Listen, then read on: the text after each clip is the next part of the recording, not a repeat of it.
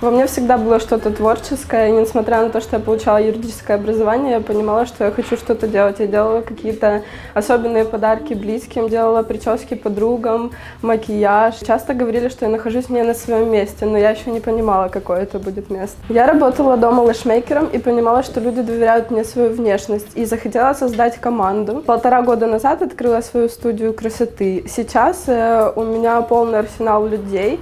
У меня хороший парикмахерский зал, где находятся мастера широкого профиля. Им не сложно ничего. Хоть самая сложная колористика, э, хоть самый большой просто мега объем, который сейчас является очень актуальным. Также очень сильные мастера ногтевого сервиса, которые воплощают любую идею, принесенную человеком, будь это картинка с интернета, либо собственный эскиз человека. Девочки очень хорошо рисуют, и для них вообще нет проблемы что-либо изобразить на ногтях.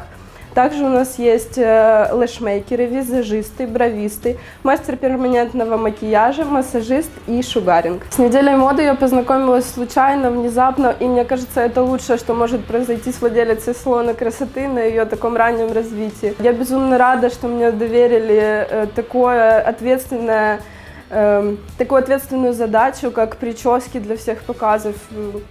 Я просто счастлива, что я причастна к этому. Когда вообще э, была полностью обрисована задача, я понимала, какой объем работы мне предстоит. Конечно, это меня немного напугало. Но у меня очень хороший коллектив, который всегда меня во всем поддерживает. У меня безумно ответственные администраторы, которые являются кураторами на мероприятии, когда мы участвуем. Мы сотрудничаем со школами парикмахерскими разными, с училищами, мы знакомимся. Ведь парикмахеры, они же все общаются между собой.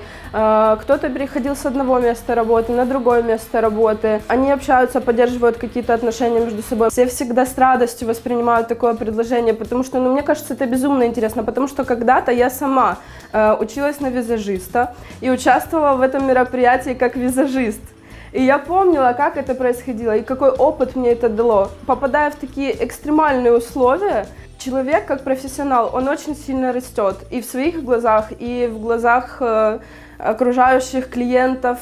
Это очень круто участвовать в таком мероприятии. И я доношу это до человека, до мастера, до ученика, неважно так, что он просто загорается точно так же, как и я. Но не может быть все слаженно, дружно, вовремя и так далее и тому подобное. Я по своей работе это знаю. Это, это просто невозможно. Это какой-то идеальный мир. Ну, мы же все люди. Все происходит круто. Очень хорошие площадки. Мне нравится работать на этих площадках. Очень хочется просто, все, чтобы все люди были с такой идеей, с, такой, с таким азартом это делали, как и я к этому отношусь, как Зарина к этому относится. Вот чтобы собралась такая команда, наверное, хочется не место менять, хочется, чтобы команда очень сплоченная была. Вот это, как по мне, самое важное.